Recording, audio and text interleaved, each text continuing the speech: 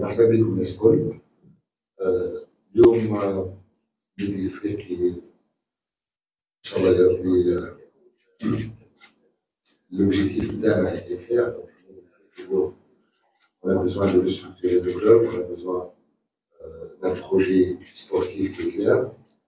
Et le projet اللي عملناه واللي حطيناه اليوم ان شاء الله نقوم بالستاف التكنيك بتاعنا جديد الستاف جديد اليوم كلير دونك il y a un projet sportif clair au club الناس الكل نتمناو ان شاء الله نوصلوا للزوجيتيف بتاعنا ويبدا البروجي بتاعنا سورتو افيك مسيو بيتوني دونك دافيد بيتوني le joueur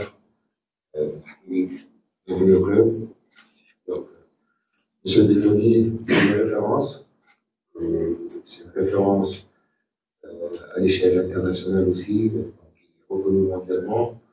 Et nous, on a l'honneur d'avoir M. David Belloni comme euh, chef d'orchestre ou le head coach du club.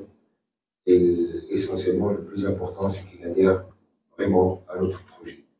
Bah déjà, pour moi, c'est vraiment euh, une fierté à l'honneur d'être le, le nouvel entraîneur du club africain. C'est quand même un, club historique.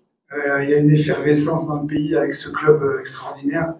Donc je souhaiterais vraiment m'inscrire euh, dans un projet avec ce genre de club-là, avec des grandes ambitions, avec un projet qui, est dessiné sur, avec l'idée de, gagner, parce que de toute façon, dans tout projet ambitieux, le résultat, c'est gagner. Maintenant, pour gagner, il, faut, il faut bien préparer les choses.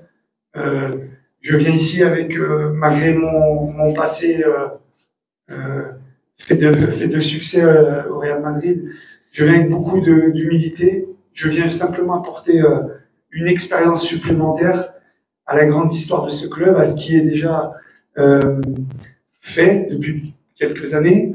Donc, en fait, Simplement, euh, je suis vraiment, je remercie euh, le président, le vice-président Ahmed, je remercie vraiment tout le monde, l'actionnaire, enfin tout le monde, je ne veux pas en oublier.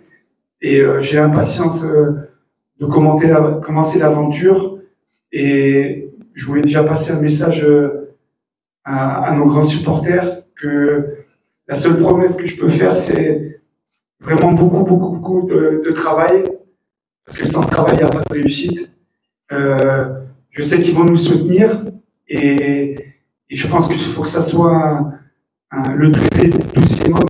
Et, euh, et, pour ça, on devrait mériter euh, par notre envie sur le terrain, par le, le, bon travail qui sera fait par tout mon staff, parce qu'évidemment, je ne viens pas tout seul, et par le soutien euh, que j'ai eu depuis le premier jour de, tout le club à mon égard.